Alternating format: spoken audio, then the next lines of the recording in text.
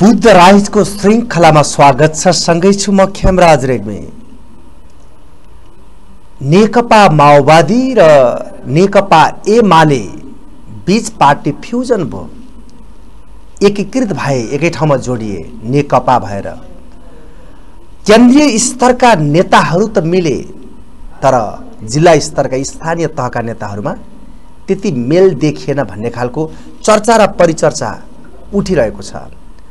र सँगसँगै नेकपाले सरकारको र स्थानीय तहको धेरै ठाउँमा नेतृत्व लिइरहेको बेलामा र अहिले एकीकृत कर लगाएर जनताको ढाड सिक्ने काम भयो भन्ने खालको गुनासो जनमानसबाट आइरहेको छ। र सँगै पार्टीले नेतृत्व गरिरहेको अवस्थामा त्यसको जिल स्थानीय तह र जिल्ला स्तरमा नेतृत्व गर्ने नेतृत्व वर्गहरू नेताहरू यो विषयमा कसरी लिएका छन् यो विषयलाई? र सँगसँगै उनीहरूको वास्तविक धारणा के छ? यी विविध सन्दर्भमा आज हामी छलफल गर्दैछौँ। रूपन्देही जिल्लाका नेकपाका नेता जसले त्यति बेला तिलोत्तमा नगरपालिकाको नेकपा माओवादीको अध्यक्षको रूपमा संयोजकको रूपमा जिम्मेवारी सम्हाल्नुभएका लक्ष्मण खनाल आउनुहोस् यो कार्यक्रममा म उहाँलाई स्वागत गर्न चाहन्छु। लक्ष्मणजी यहाँलाई स्वागत छ। धन्यवाद। हजुरलाई पनि स्वागत छ। हिजो त तपाईँ तिलोत्तमा नगरपालिकाको मेयरकै रूपमा मैदानमा उत्रनु भएको थियो। होइन? त्यहाँको। प्रत्येक नस नस कहाँ कहाँ के के भएको छ राम्रोसँग जानकारी राख्ने व्यक्तित्व पनि हो। जब स्थानीय तहमा अरू कसैले छलाङ मार्यो जनताले जे अपेक्षा गरेका थिए त्यो अपेक्षा अनुसारको काम पाउनु भएको छ तपाईँहरू? अब जनताको अपेक्षा त अलिक बढी नै हुन्छ। र त्यसलाई मिट गर्ने खालको सम्मको पनि छ कि छैन भन्ने कुरा प्रमुख हो। अब मैले यहाँबाट भन्नै पर्छ जनताको अपेक्षा अनुसार चाहिँ काम चाहिँ भएको छैन। एकदम क्लियर कुरा हो यो चाहिँ। भएको छैन। अपेक्षा अनुसार काम गर्न सकिएको छैन हामीले। हिजो सपना त तपाईँले बाँड्नु भएको थियो नि त। तपाईँको चुनाव लड्ने बेला त भयङ्कर सपना बाँड्नु भयो। अर्को पार्टीले पनि सपना बाँड्यो अर्कोले बाँड्यो। तर चुनावको बेलामा सपना बाँड्नेहरू जब नेतृत्वमा जान्छन् नि नेतृत्वमा जाँदाखेरि जनताको वास्तविक कुरा सुन्दैनन्। यस्तो किन हुन्छ राजनीतिभित्र नेतृत्व वर्गमा? नेपालको सन्दर्भमा पनि यस्तै देखिन्छ। यो स्थानीय तह मात्रै नभएर तपाईँको केन्द्रीय स्तरमा पनि यस्तो खालको देखिएको छ। यसबाट जनताहरू निराश छन्। एउटा खालको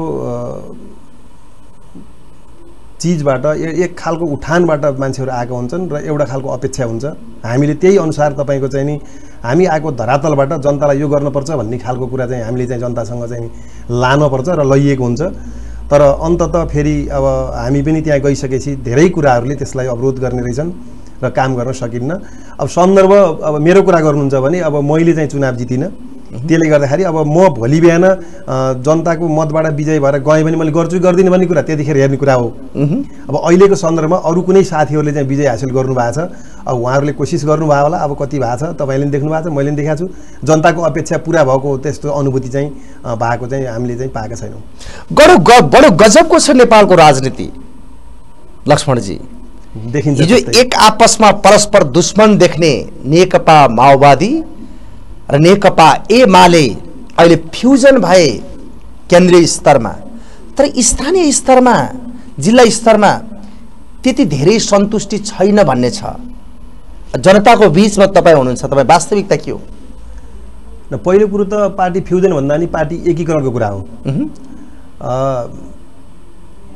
हाम्रो पार्टी तत्कालीन माओवादी केन्द्र र एमालेको बिचमा एकीकरण भएको हो। कुरा के हो भने राजनीतिमा अब सधैँ एउटै चिज चाहिँ तपाईँको चाहिँ दुश्मन हुने र एउटा चाहिँ तपाईँको मित्र हुने त्यस्तो चाहिँ हुन्न।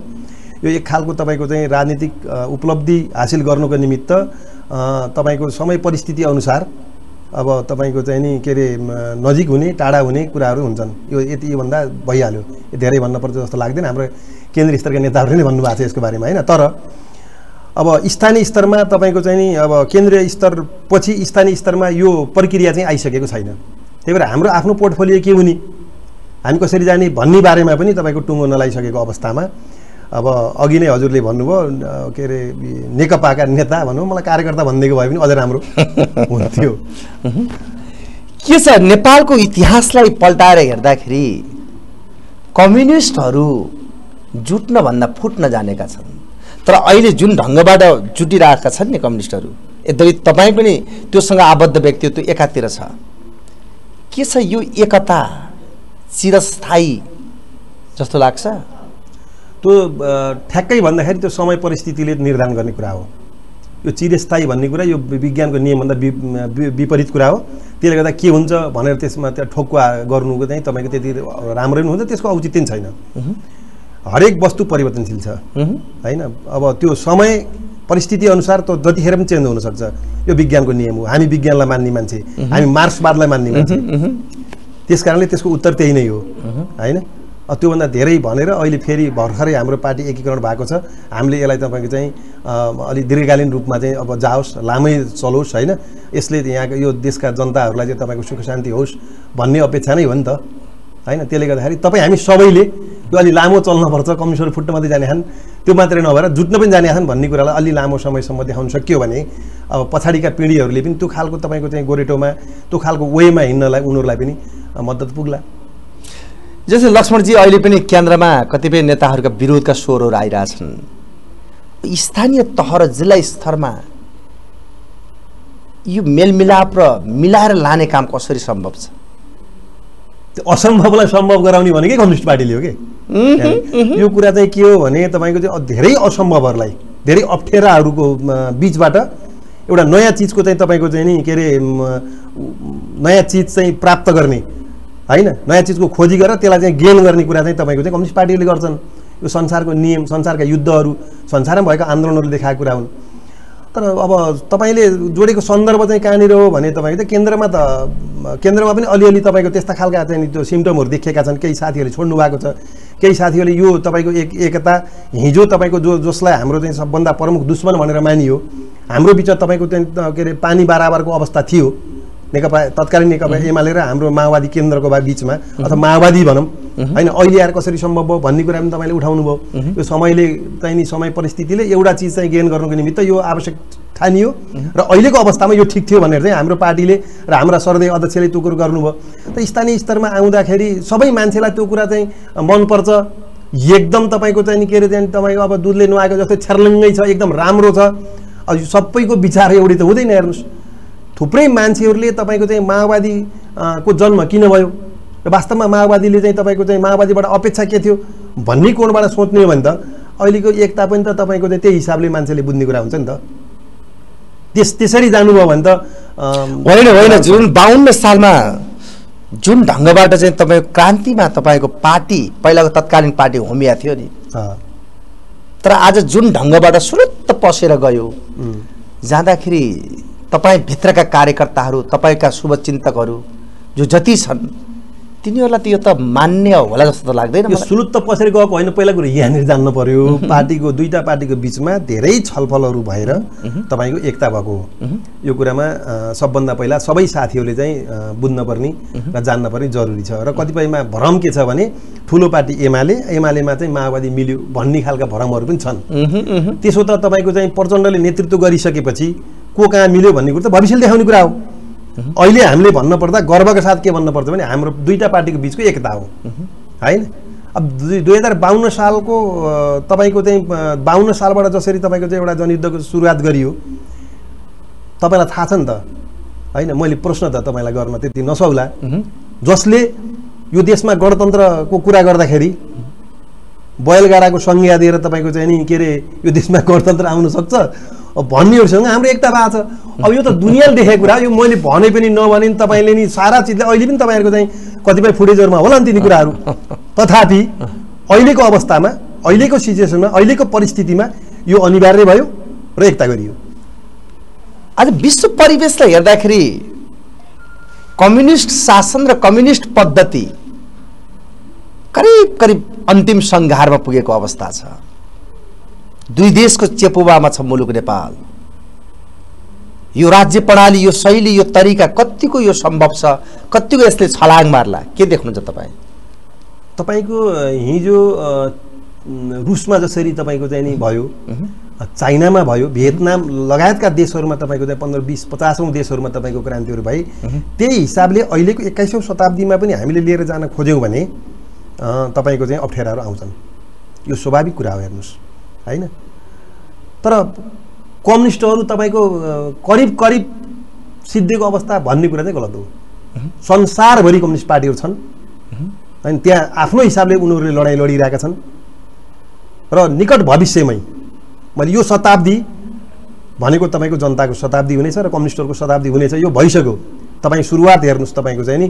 इराक जस्तो देशमा तपाईँको हिजो अमेरिकाले चाहिँ युद्ध थोपेर दुनियाँ गरेको देशमा त्यहाँ कम्युनिस्ट पार्टीहरूको विजय भएर त्यहाँ बुर्का फालेर मान्छेले कम्युनिस्ट पार्टीका झन्डा ओढेर बाहिर निक्ले। त्यहाँ अत्यधिक मतले तपाईँको त्यहाँ बहुमतको सरकार बनाउनु सफल भयो। यस यसबाट हेर्नुहोस् त। इराक जस्तो देशमा अमेरिकामा तपाईँको चाहिँ कम्युनिस्ट पार्टीले तपाईँको अब चाहिँ विजय हासिल गर्नेवाला छ। वाला छ। वाला छ त्यहाँ त्यहाँ कम्युनिस्ट त्यहाँ पनि कम्युनिस्ट पार्टी सशक्त रूपमा छ त्यहाँ। आन्तरिक रूपमा उनीहरू पनि तपाईँको त्यहाँ चाहिँ तपाईँको चाहिँ युद्धको तयारी समेत गरिरहेछन्। भने संसारमा कहाँ छैन कम्युनिस्ट पार्टी? हो सत्तामा। कहिले कुवा हुन्छ कहिले कुवा हुन्छ। अब ला हेर्नुहोस् त तपाईँको चाहिँ अब यो संसारलाई बदल्ने भने कसले हो? यहाँ अहिलेका यिनी पुँजीपाती भन्ने यस्तो खालको तपाईँको चाहिँ सोच विचार भएको मान्छेले त बदल्दैनन् हेर्नुहोस्। अहिले हेर्नुभयो भने संसारभरिमा हेर्नुभयो भने तपाईँको चाहिँ नि यो पुँजीपतिहरूको जबदेखि चाहिँ राज्य व्यवस्था चाहिँ कायम भयो त्यसपछि लाखौँ करोडौँ अरबौँ जनताहरू तपाईँको चाहिँ भुकमरीको चपेटमा परेका छन् ए बाबा तपाईँहरू पुँजीवादीलाई गाली गर्नेहरू मैले स्पष्ट कुरा तपाईँको। पुँजीवादीलाई गाली एकछिन। एकछिन म तपाईँसँग बोल्दैछु पुँजीवादी राज्य सत्ता प्रणालीको विरोध गर्नेहरू जनताले कमाएको सम्पत्ति जनताले कमाएको धनमा एकीकृत कर लगाएर जनताको ढाड सिक्ने काम तपाईँको राज्य सत्ताले गरिरहेछ कि तपाईँ उपयुक्त काम भएको भने ठान्नुहुन्छ? अब एकीकृत सम्पत्ति करलाई बुझ्ने कुरा हो। हेर्नुहोस् एकीकृत सम्पत्ति करलाई कति बुझाउन सके कति सकेनन् त्यो अलग कुरा हो। एकीकृत सम्पत्ति कर कुन कुन हिसाबले लगाउने भन्ने कुरामा चाहिँ तपाईँको चाहिँ ख्याल गर्नुपर्छ। र म एउटा कम्युनिस्ट पार्टीको तपाईँको चाहिँ एउटा कार्यकर्ताको हैसियतले र नाताले र जनताप्रति चाहिँ उत्तरदायी हुने नाताले मैले के भन्छु भने जनतालाई तपाईँको करबाट चाहिँ ढाड सेक्न पाइन्न। प्रष्ट कुरा। कम्युनिस्टहरूको उद्देश्य के हो भने त्यो देशमा बसोबास गर्ने तमाम गरिब जनताहरू र सुकुम्बासीहरू र तपाईँको किसानहरूलाई करबाट मुक्त गर्नुपर्छ र उत्पादनमा तिनीहरूलाई तपाईँको चाहिँ नि जोड चाहिँ दिनुपर्छ र उनीहरूलाई तपाईँको सब्सिडीको चाहिँ व्यवस्था गर्नुपर्छ। न कि उनीहरूलाई कर लगाउने कुरा। कर लगाउने ठाउँहरू छन्। त्यहाँ कर लगाउनुहोस् भ्रष्टाचारहरू भइरहेको छ, त्यसलाई रोक्नुहोस्। त्यसपछि तपाईँ खातामा पैसा आउँछ विकास गर्नुहोस्। जनतालाई तपाईँ जबसम्म एक रुपियाँ दिन सक्नुहुन्न जनतालाई एउटा मोलको व्यवस्था गर्न सक्नु भएको छैन। अनि जनताको एक चार कट्ठा खेतलाई तपाईँ कर लगाउन थाल्नु भने त्यसको के हुन्छ? अनि हामीले हामीलाई कम्युनिस्ट भनेर भन्न मिल्छ?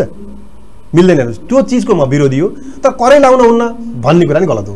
उद्देश्य उद्देश्य बडो शानदार र उद्देश्य यति सफ़ा छ यहाँहरूको। तर तपाईँको पार्टीभित्र तपाईँको पार्टीबाट चुनाव जितेर गएकाहरूलाई जे पनि गर्ने अधिकार छ? त्यस्तो हुन्छ यो संसारमा। जे पनि गर्न पाइन्छ। पाइन्छ जे पनि गर्न। जे पनि गर्दाखेरि तपाईँको के हुन्छ भन्ने कुरा त समयले देखाइहाल्छ नि त्यो त तपाईँको। अहिले मान्छेको चाहिँ तपाईँको सामान्य यसलाई व्यवहारमा लान थाल्दा बित्तिकै मान्छेले चाहिँ विद्रोहमा उत्रिन थाल्यो। होइन? यदि यो गलत छ भने जनता सबै उत्रिन्छ नि हेर्नुहोस्। यहाँ तपाईँको चाहिँ नि ल पार्टीको हिसाबले भन्नु भने तपाईँको यहाँ त मेरो चाहिँ दुई तिहाई होला होइन? अर्कोको कम होला अर्को ठाउँमा अर्कोको दुई तिहाई होला। के त्यो पार्टीका मान्छेले मात्रै मत दिएर त्यति मत आएको हो? तपाईँ भन्नुहोस् हिजोको तत्कालीन एमाले उसको तपाईँको तिलोत्तमामा कार्यकर्ता हजार होलान्। पार्टी सदस्य माओवादी केन्द्रका तपाईँको चाहिँ आठ सय सन्ताउन्न होलान्। नेपाली काङ्ग्रेसका हजार होलान्। कि त्यतिले मात्रै मत मत दिएका हुन्? त्यति मात्रै जनता हुन्? भोलि ती कार्यकर्ता त लाजले नउत्रेलान्। तर यतापट्टि तपाईँलाई दिएका बिसौँ पच्चिसौँ हजार पचासौँ हजार जनता उत्रिनु फिल्डमा। यदि उनीहरूलाई हामी माथि चाहिँ यसले चाहिँ अन्याय गर्यो भन्ने जब लाग्छ नि त्यसपछि मान्छे विद्रोहमा उत्रिन्छ कि उत्रिन्न त्यतिखेर तपाईँले खेप्न सक्नुहुन्छ। त्यस कारण मैले त के हो भने तपाईँको सबैलाई मेरो सुझाव के हो भने कर लगाउनुपर्छ कर न्यायचित हुनुपर्छ तर जनतालाई ढाड सकिने हिसाबले कर लगाउन? पाइन्न एकीकृत करको नाममा होस् या कुनै पनि नाममा होस् तपाईँको चाहिँ नि भ्रष्टाचारलाई तपाईँको चाहिँ प्रोत्साहन दिने अनि किसानलाई तपाईँको ढाड सकिने हिसाबले एउटा किसानको चार कट्टा खेतलाई तपाईँले चाहिँ कर लगाउन थाल्नुभयो भने तपाईँ कति कम्युनिस्ट भन्ने कुरो त पहिला थाहा त्यहाँ त्यहाँ त्यसको प्रश्न उठ्छ हेर्नुहोस्। त्यसपछि त्यसको जवाफ त फेरि सम्बन्धित निकालै दिनुपर्छ। पार्टी पार्टी एकीकरण भयो भन्ने नाममा तपाईँले मलाई सबै कुराको प्रश्न गर्ने कुरा पनि त्यो- त्यति राइट हुँदैन हेर्नुहोस्। होइन म चाहिँ तपाईँको चाहिँ जनतालाई कर लगाउनु हुन्न भन्ने पछिको मान्छे हो। जनता भन्नाले जनता त सबै जनता हुनुहुन्छ। आम्दानी जसले गरेछ नाफामा कर लगाउनुहोस्। भ्रष्टाचार हुन नदिनुहोस्। होइन अन्य थुप्रै तपाईँको चाहिँ त्यस्ता ऊ चिजहरू छन्। त्यसमा कर लगाउनुहोस् तपाईँ खोला नालाहरू छन् तपाईँको हेर्नुहोस् प्राकृतिक स्रोतहरू छ हाम्रो। त्यहाँ दोहन गर्ने अनि त्यहाँ तपाईँको चाहिँ जनताका चार कट्ठा खेतलाई लगेर तपाईँ कर लाउनु भने त्यसको के हुन्छ परिणाम? त्यसलाई म्यानेज गर्नुहोस्। अरबौँ रुपियाँ हाम्रो यहाँ चाहिँ विकास गर्नुहोस्। अर्को कुरा म तपाईँलाई एउटा जानकारी गराउँ। कर ल्याउनुहोस्। ठिक छ जनता कर दिन तयार छ त्यही पनि तथापि जनता कर दिन तयार छ। हेर्नुहोस् मैले पनि बुझेको छु म पनि तिलोत्तमाको हरेक क्षेत्रमा डुलेको छु। जनता कर दिन तयार छ तर जनताले कर दिए बापत तपाईँले दिने सुविधा के हो? के दिनुहुन्छ? एउटा बाटो बनाउँछ फिफ्टी फिफ्टी पहिला कर लिनुहुन्छ फेरि त्यो एउटा बाटो बनाउँदा फेरि फिफ्टी भने फेरि कर लिनुहुन्छ तपाईँले जनतालाई हेर्नुहोस्। अनि अर्को के बनाउनु थाल्नुहुन्छ त्यहाँ पनि कर लिनुहुन्छ। ए बाबा बाटो हिँड्ने बेला फेरि गाडी मोटरसाइकल कर भन्नुहुन्छ मोटरसाइकल किन्ने बेला अर्को के कर भन्नुहुन्छ अनि जनता कहाँ जाने? भिकमगा हुने अनि यसरी तपाईँको चाहिँ यो देशका जनता सुखी हुन्छन्। जनताको पक्षमा कसले काम गर्ने हो? यो देशको कम्युनिस्ट पार्टीका सरकारले कम्युनिस्ट पार्टीका हामीले गरेनौँ भने जनताले भोलि बिहान के हुन्छ? जनतामा निराशा आउँछ क्या हुन्न? त्यस कारण हामीले बुझ्नुपर्छ अरूले त बुझेनन् होला ल। होइन अरूले हामीले पुँजीवादी के के के के अनि हजुरले भन्नुभयो उनले त बुझेनन्। भनेर कम्युनिस्ट पार्टीमा ला हो। अनि हामीले बुझेनौँ भने त्यसपछि हामी र उहाँहरूमा के फरक छ? त्यसपछि जनताले हामीलाई किन विश्वास गर्ने? त्यही भित्र पनि त लुट रहेछ। सारा परमा लुट रहेछ भन्ने जब जनतामा पऱ्यो भने अनि कम्युनिस्ट पार्टी भन्ने नाममा त्यो एउटा खोलमा मात्रै जनताले विश्वास गर्नुपर्छ भन्ने जरुरी छ। व्यवहारमा प्र्याक्टिकल ल्याउनुहोस्। जनतालाई के लाग्न पऱ्यो भने यिनी हाम्रा चाहिँ त सच्चा तपाईँकै अनुयायी हुन्। यिनीहरूलाई चाहिँ तपाईँको हामीले विश्वास गर्नुपर्छ यिनलाई हामीले चाहिँ तपाईँको चाहिँ अगाडि बढाउनुपर्छ त्यसपछि हाम्रो भलो छ भन्ने जनतालाई लाग्न पऱ्यो नि हजुर सरकार। लागेन भने त राम्रा भन्न सकिन्छ के भन्न यत्रो अधिकार कुनै पनि नगरको नेतृत्व गर्नेलाई यत्रो अधिकार यत्रो छुट कसले दियो? छुट छैन। मलाई छुट छ भने कोही चिच्याउँदै हिँड्छ भने त्यो छुट मानिनु त्यसलाई। जनताको विरुद्धमा आएका चिजहरूलाई तपाईँको चाहिँ नि मेरो मलाई छुट भएर म त्यहाँको चाहिँ फलानु भएको भएर यो गर्न पाउँछु त्यस्तो छुट हुन्न। जनतालाई विद्रोह गर्ने अधिकार चाहिँ थाहा छ तपाईँलाई? अनि तपाईँहरू बसेर टेबल त बहस गर्न किन सक्नुहुन्न? लक्ष्मणजी मैले यो कुरा खोज्न चाहिरहेको छु नि। के को बारेमा? यसै विषयमा यस्ता जनताका विरुद्धमा अथवा जनतालाई अत्यन्त अप्ठ्यारो पर्ने गरी जुन काम हुन्छ नि। तपाईँहरू जस्तो नेतृत्व वर्गहरू चाहे त्यो काङ्ग्रेस होस् चाहे त्यो नेकपाभित्रकै किन नहुन्। चाहे अन्य पार्टी किन नहुन् बसेर छलफलको विषय बनाएर सम्पत्ति करको बारेमा तपाईँको चाहिँ एक दुई ठाउँमा घुम्ने मौका मैले पनि पाएँ। मैले धरानको कुरा गरेँ थोरै तपाईँलाई जोडेँ। त्यहाँ के देखियो भने तपाईँको त्यहाँको अहिले त उपमहानगरपालिका भएको छ के अरे होइन त्यहाँको नगरपालिका हुँदाखेरि उहाँहरूले पनि त्यहाँको मेयर साहबहरूले पनि कर लगाउनु भएको रहेछ तर जनताले कर तिरेन। अत्याधिक कर लाउनु भएछ पछि त्यसलाई रिभ्यू गरेर तपाईँको एकदम न्यूनतम भन्दा न्यूनतम करमा लानु तर करको दायरामा ल्याउनु भयो। तर जनताले त्यसको आभासै भएन कि? जनताले तिर्यो। पोहोरको पनि तिरिदियो जनताले।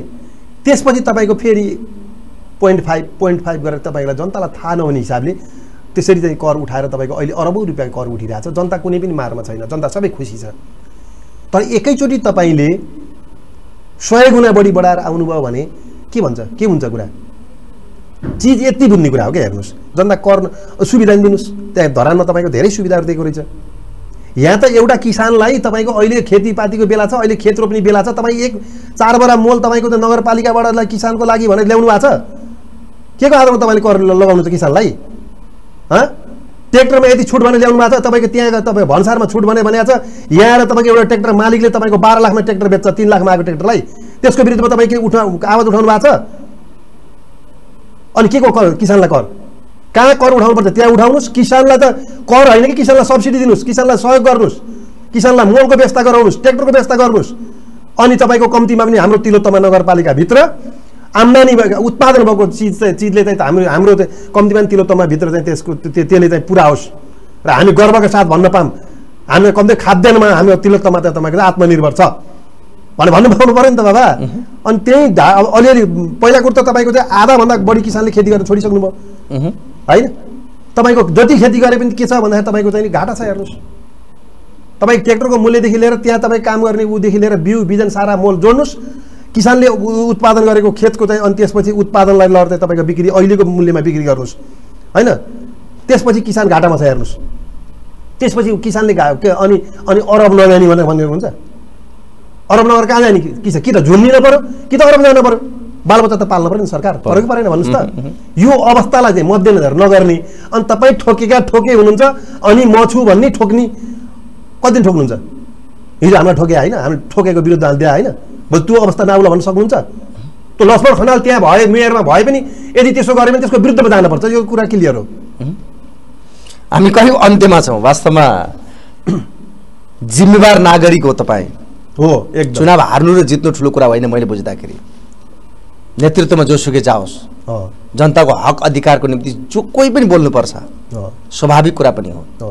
अन्त्यमा यो सामाजिक सञ्जालको माध्यमबाट यो टेलिभिजनको माध्यमबाट तपाईँ बुद्ध टिभी मार्फत तपाईँ के भन्न चाहनुहुन्छ? अनि मैले त अब धेरै कुरा भन्दा पनि मैले ठ्याक्कै के कुरा भन्न चाहन्छु भने जनताको हितमा हुने सबै काम गरौँ। र कुनै पनि नाममा जनतालाई ठग्ने काम जनता मारा काम चाहिँ कसैले पनि गर्न हुन्न। चाहे त्यो कुनै पनि वादको कुराहरू चाहिँ यहाँ नल्याउँ होइन? कुनै पनि वाद किन नहोस्। जनताको पक्षमा गर्ने भनेर तपाईँले जनताको मत लिएर आइसकेपछि जनताको पक्षमा हित हुने काम गरौँ होइन? कर सबै मान्छेले तिर्न तयार छ। करको दायरालाई फराकिलो गराउँ होइन? करले निचोरेर जनताको ढाड सेक्ने काम चाहिँ नगरौँ। यस्तो खालको गतिविधिहरू देखिएका छन्। आन्दोलनका सिम्टमहरू देखिन थाले। त्यसलाई निस्तेज गर्नको निमित्त पनि यसलाई फेरि पुनरावलोकन गर्नुपर्छ भने गरौँ। र जनतालाई तपाईँको करबाट चाहिँ मुख्यतया किसानहरूलाई त करबाट टोटल रूपमा छुट गर्नुपर्छ। र दुनियाँको तपाईँको प्र्याक्टिकल पनि प्र्याक्टिस पनि यस्तै देखिन्छ। अमेरिका यही भारत हेर्नुहोस् चार बिहा जग्गा हुने मान्छेलाई तपाईँ एक रुपियाँ कर लाग्दैन। चार बिहाभन्दा पछाडिको मान्छेलाई दस रुपियाँ कर छ कि? यो नेपालमा हेर्नुहोस् त दस कट्टा खेत भएको मान्छेलाई कर त्यसको समग्र त्यसको टोटल सम्पत्ति जोडेर त्यसलाई कर लगाउनु भयो भने मान्छे विस्थापित हुन्छ। उद्योग धन्दाहरूको कुरा त्यही छ हेर्नुहोस्। तपाईँले चाहिँ रोजगारका सिर्जना गर्नुहोस् होइन? अन्य चिजहरू गर्नुहोस्। एउटा तपाईँको चाहिँ नि के अरे यो मैले बुद्ध टेलिभिजन मार्फत यो भन्नै पर्ने कुरा के भयो भने उद्योग धन्दाहरूलाई तपाईँको चाहिँ ढाड सेक्ने गरेर तपाईँको चाहिँ नि कर लगाउनु भयो त्यही भने पनि ती विस्थापित हुन्छन्। त्यसपछि उनीहरूले दिएको सिर्जना गरेको रोजगारीहरूको अवस्था के हुन्छ? यतातिर पनि हामीले ध्यान दिन जरुरी छ। र हाम्रो नगरपालिका र त्यो त्यो नगरपालिका भित्र भएका चाहिँ तपाईँको साथीहरूले त्यो बुझ्न जरुरी छ र जो हाम्रो प्रमुख हुनुहुन्छ उहाँलाई सल्लाह दिने मान्छेले नि यो बुझ्न पऱ्यो के? मुख्यतः के हुन्छ भने नेतृत्व आफैमा तपाईँको सक्षम हुन्न। आफैमा पर्फेक्ट हुन्न। उसलाई सल्लाह दिने मान्छेहरू इर्द गिर्दमा जुन बस्ने मान्छेहरू हुन्छ उनीहरूले पनि उनीहरूले राम्रो खालको सल्लाह चाहिँ दिनुपर्छ। उहाँ एउटा खालको काममा हुनुहुन्छ उहाँलाई सल्लाह दिने मान्छे त बाहिर घुमेको हुन्छ नि त। उहाँहरूले त धेरै कुरा बुझेको हुन्छ।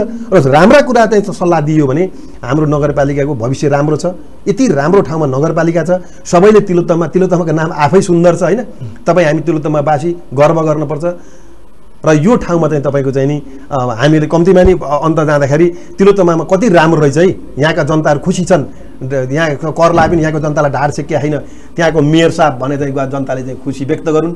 यही अपेक्षा सहित सहित चाहिँ यो टेलिभिजनलाई पनि हृदयदेखि नै धन्यवाद दिन चाहन्छु।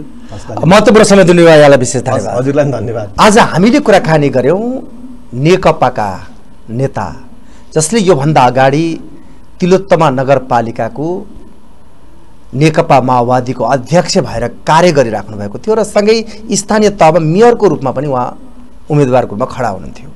र अहिलेको एकीकृत कर र सँगै पार्टीको एकता यी विविध विषयमा हामी उहाँसँग कुराकानी गऱ्यौँ यो कुराकानीसँगै यो कार्यक्रमबाट म पनि आगे चाहन्छु। नमस्कार। नमस्ते।